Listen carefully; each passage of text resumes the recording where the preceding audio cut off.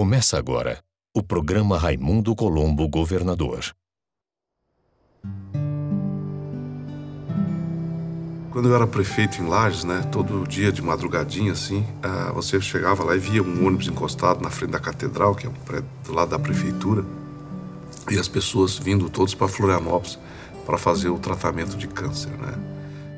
Eram pessoas humildes, às vezes enroladas num cobertor.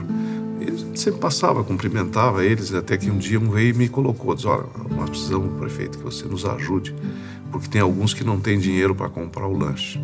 Então eles, a gente sai de madrugada e volta só à noite, porque tem que esperar o último você receber o tratamento, a radioterapia, a quimioterapia, para poder voltar. E a gente para no, ali no restaurante Janaína, ali no meio da viagem, uns podem comer e outros não. Então, se você pudesse ajudar a pagar o lanche. E claro, a prefeitura começou a ajudar, mas naquele dia eu disse: olha, se um dia eu for governador, nós vamos melhorar esse atendimento. Né? Não é possível isso, isso não é, não é humano, não é decente. E hoje nós temos 18 centros né, já atendendo as pessoas em, em todos os lugares do estado e mais quatro em implantação. As pessoas estão vivendo melhor. Né? Nós levávamos 70 dias para uma pessoa iniciar o tratamento desde quando ela tinha o exame de que ela tinha câncer. Hoje são cinco dias. É, é um momento importante do governo. Um nasce para ser piloto de avião, outro para ser piloto de barco, outro marinheiro, sei lá. Eu nasci para ser motorista de caminhão. Fui diagnosticado com câncer no sistema linfático e isso acabou me afastando da, da estrada, precisando de tratamento, enfim, uh, não tive mais como viajar. As pessoas sempre pensam assim: câncer só dá nos outros. E aí um dia você descobre que os outros dos outros é você. Eu via tudo embaçado, entendeu? É que eu lavava a roupa, toalha de prato, fervia a toalha de prato. E a toalha estava sempre cardida. Mas não era cardido, eram meus olhos. Fui a doutora, ela olhou para meus olhos e disse: Olha, é uma catarata. Aí eu dei uma risada: Catarata?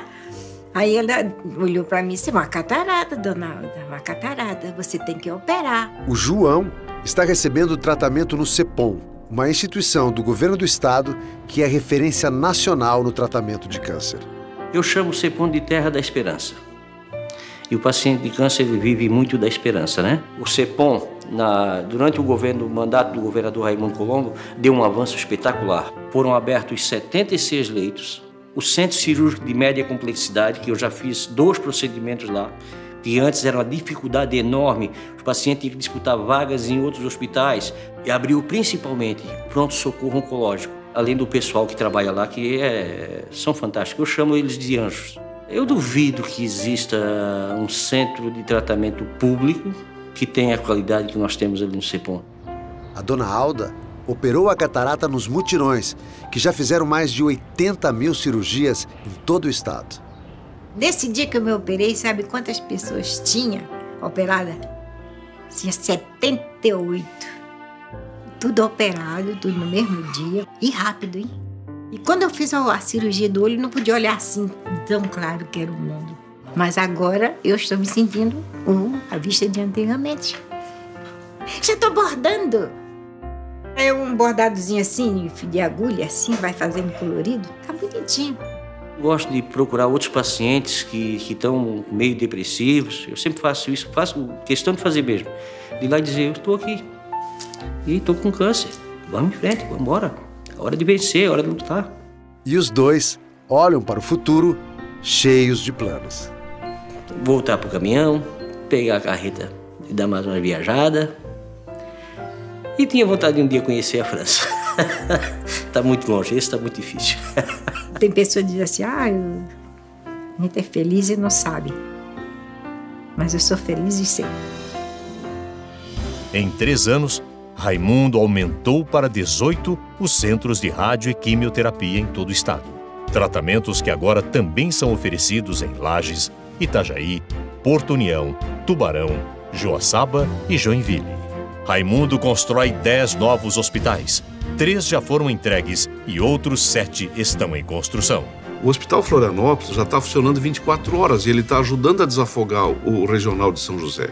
Em São Francisco, A prefeitura estava fazendo um hospital, mas com dificuldades, porque foi um ato de muita coragem fazer um hospital. E nós fomos lá, reforçamos financeiramente. O hospital entrou em funcionamento, está lá funcionando, está uma beleza. Né? E o da FURB em Blumenau também tinha muitas dificuldades, eles não iam conseguir fazer sozinho. E nós fomos lá e aportamos os recursos. Então o que importa é o seguinte para o povo: se é da FURB, se é da prefeitura, se é do governo do estado, não importa. Nós temos que reunir as nossas forças, trabalharmos juntos e oferecer a saúde e qualidade para a população. Além dos hospitais públicos, Raimundo investiu nos hospitais comunitários, que também atendem de graça a população em todo o estado. Novo Centro de Diagnóstico em Mafra, um dos mais modernos do país. Novo Centro de Cardiologia em Jaraguá do Sul. 18 novos leitos de UTI em Videira. Nova emergência do Hospital Seara do Bem em Lages. Novo Centro Cirúrgico em Pomerode. Cirurgia Cardiológica em Tubarão novos leitos de UTI no Hospital Infantil de Joinville. Ao todo, 200 hospitais que estão ganhando mais leitos, mais equipamentos e mais especialidades em todas as regiões de Santa Catarina. Eu poderia terminar esse programa dizendo que já fizemos tudo, que tudo está resolvido. Mas isso não é verdade. Fizemos muito e você viu. Mas ainda temos grandes desafios pela frente. Por isso, Agora vamos acelerar e trabalhar ainda mais, com firmeza, seriedade e o seu apoio. Muito obrigado e até amanhã, se Deus quiser.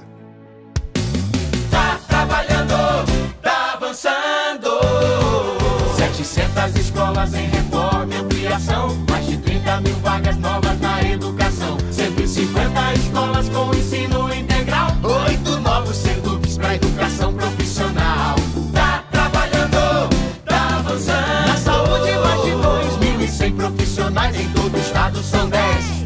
novos hospitais, 1.500 novos leitos em construção, mais de 80 mil cirurgias sem mutirão. Pronto socorro 24 horas no Cepom, um novo plano de gestão em toda a saúde é bom. Eu quero mais, mais, mais, mais polícia na rua. 5.500 novos contratados, mais 1.500 já estão autorizados, 2.300 novas viaturas.